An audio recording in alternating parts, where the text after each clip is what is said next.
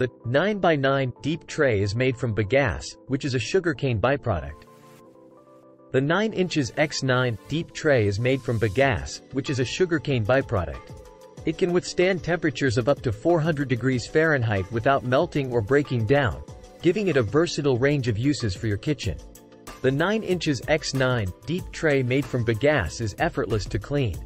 So, if you're looking for an eco-friendly and reliable tray for your food business, you should definitely consider the 9 inches x9 deep tray made from bagasse.